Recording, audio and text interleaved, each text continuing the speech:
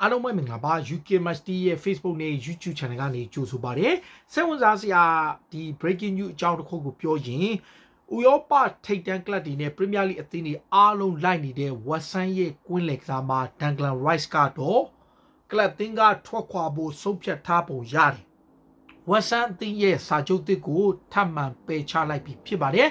အသက်23နှစ်အရွယ်ရှိတဲ့ Declan Rice က ဝက်ဆန်သင်းရဲ့အဓိကကွင်းလယ်ကစားမတစ်ယောက်ဖြစ်လို့ဒီနေ့ရာသီတွင်းမှာအကောင်းဆုံးစွမ်းဆောင်ပြနေသူလည်းဖြစ်တယ်ဆိုတော့ Declan Rice ကိုလိုချင်တဲ့ကလပ်တွေများတဲ့အတွက်ကြောင့်ဝက်ဆန်ကတော့ပေါင်တန်း150ဈေးသတ်မှတ်ထားတယ်ဒါပေမဲ့လည်း Declan Rice ကဝက်ဆန်အသင်းမှာထဲလာမယ့်ရာသီမှာသူစိတ်ကြိုက်အသင်းတစ်သင်းပဲဖြစ်ဖြစ်ဥရောပချန်ပီယံလိဝင်ခွင့်ရနိုင်မဲ့အသင်းတစ်သင်းကိုသူပြောင်းချင်တယ်အဲ့အတွက်ကြောင့် Declan Rice နေနဲ့အသင်းကထွက်ခွာဖို့သူအမြဲလိုရှိတယ်အဓိကတော့ဒါ ဝက်ဆန်ကပြီးခဲ့တဲ့နေရာဒီတုန်းကပေါင်တန်း100လောက်ထိဈေးတိုးတောင်းတဲ့အခါမှာသူ့ကိုဝယ်ယူခြင်းတဲ့ကလပ်တွေမရှိဘဲဖြစ်သွားလို့ဈေးမတန်များနေတဲ့အတွက်သူစိတ်ပြက်သွားတယ်။ဒါကြောင့်ပဲဝက်ဆန်ရဲ့ဒါပထမအချိန်စာချုပ်ကန်လန်မှုဒါကဒုတိယအချိန်ကန်လန်မှုအပါဝင်တတိယအချိန်ကန်လန်မှုပေါ့တတိယအချိန်ကန်လန်မှုကိုပြီးခဲ့တဲ့ရက်ပိုင်းကပဲဝက်ဆန်က တန်ကလန်ရိုက်စ်ကိုတက်တန်ထိုးဖို့ကန်လန်ခဲ့တယ်။တပတ်လောက်ခပေါင်2သိန်းရှိမယ်။ရှစ်နှစ်စာချုပ်ရှိပြီးတော့စာချုပ်ပါအချက်လက်ရာအိုက်ရှစ်နှစ်တွင်မှာပေါင်83တန်းထိခံစား권ရမယ်ကာလရှည်ကြာသဘောတူညီမှုကိုထည့်သွင်းခဲ့တယ်။ဒါပေမဲ့လည်းဒန်ကလန်ရိုက်စ်က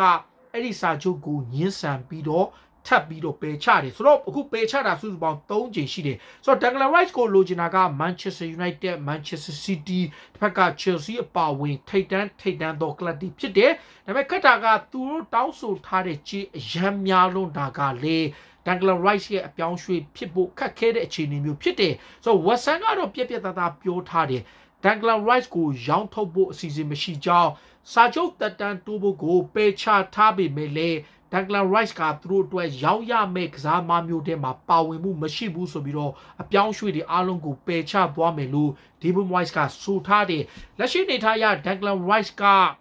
နွေရာဒီမှာအသင်းပြောင်းဖို့ဖြစ်ပြနိုင်ပေမဲ့ဒါသူ့ကိုတန်150ဆိုတဲ့အမောင်းကတော့ခက်တယ်ဆိုတော့ဝက်ဆန်အနေနဲ့ရရော rice ကလည်းတက်တန်းတိုးတာတွေကိုညင်းထားမယ် ဝက်ဆန်ကလည်းမယောင်းဘူးဆိုရင်ဒီကစားမရဲ့စာချုပ်တက်တန်းကုံဆုံးခြင်းမှာအလွတ်နဲ့ဆုံးရှုံးသွားနိုင်တယ်လက်ရှိချိန်နေရ Declan Rice ရဲ့စာချုပ်ရဲ့အချက်လက်ရာ2023ထိသူ2024ထိစာချုပ်ကြံသေးတယ်ဆိုတော့နှစ်နှစ်စာချုပ်ကြံနေဒါပေမဲ့နှစ်နှစ်ဆိုပေမဲ့ Declan Rice က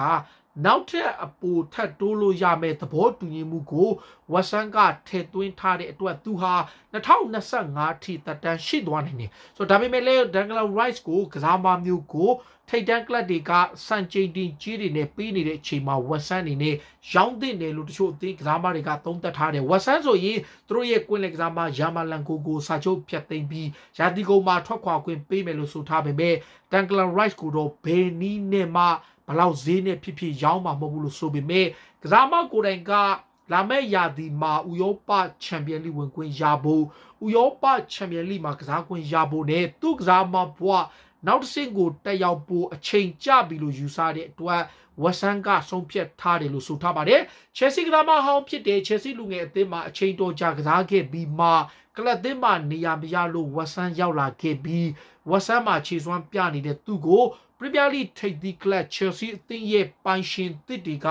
ခေါ်ယူဖို့ဆန္ဒရှိတယ်ဆိုတဲ့သတင်းတွေလည်းတက်နေတယ်ဒါပေမဲ့တေချာတာတော့ဝက်ဆန်ကပထမအကြိမ်ဒုတိယအကြိမ်နဲ့တတိယအကြိမ်ပါဝင်ကမ်းလှမ်းမှု၃လုံးကို၃ကြိမ်လုံးကိုဒန်ဂလန်ရိုက်စ်ကပေချထားလို့စာချုပ်ကလည်း2000နဲ့ဒါဘယ်လိုပြောမလဲ23မှာ24မှာကုန်ပြီမဲ့8နှစ်စာချုပ်ပေါင်83တန်း ဒါတပတ်လောက်ကပေါင်2သိန်းရှိတာကို Danglan Rice ကညင်းထားစေဖြစ်ပါတယ်ပြည်သက်တွေအနေနဲ့ Danglan Rice ကနွေရာသီအပြောင်းရွှေ့ကရောဖြစ်လာနိုင်ခြင်းရှိလားစာချုပ်က2နှစ်ကျော်3နှစ်ထိတိုးလို့ရတဲ့အခြေအနေကြံနေပေမဲ့သူကရောဒါဝက်ဆန်ကထွက်သွားရင်ဘယ်သင်းကိုပြောင်းရွှေ့နိုင်လဲဘယ်သင်းကရောသူ့ကိုတတ်နိုင်လဲပြောင်းရွှေ့ခြင်းကလည်းတန်150ဆိုတဲ့အချက်ကရောဘယ်လောက်ထိသူ့ဘော်ကိုပြောင်းရွှေ့ဖို့ခက်ခဲမလဲကိုယ့်ရဲ့အမြင်လေးတွေကိုကိုယ်မှမဝင်ရောက်မှတ်ချက်ပေးကြပါအလုံးကျေးဇူးတင်ပါတယ်